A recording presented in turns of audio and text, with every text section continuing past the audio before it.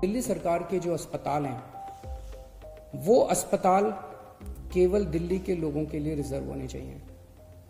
केंद्र सरकार के जो अस्पताल हैं, उसमें भी दस हज़ार बेड्स हैं। वहाँ पे कोई भी देश भर से आके अपना इलाज करा सके। उसके ऊपर दिल्ली सरकार कोई आदेश नहीं पारित कर रही, उसके ऊपर कोई।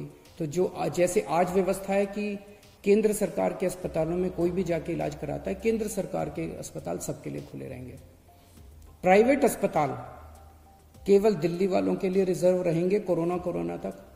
लेकिन कुछ प्राइवेट अस्पताल ऐसे हैं जो स्पेशल किस्म की सर्जरी करते हैं, जो सर्जरी बाकी देश भर में अवेलेबल नहीं है और लोगों को अपनी जान बचाने के लिए दिल्ली आना पड़ता है।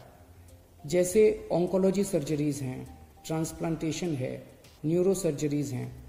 इस किस्म की कुछ सर्जरीज जो कुछ चंद अस्पताल करते हैं उन सर्जरीज के लिए देश भर से लोग अगर दिल्ली आके अपनी सर्जरी करवाते हैं, वो पूरे देश के लोगों के लिए खुला रहेगा।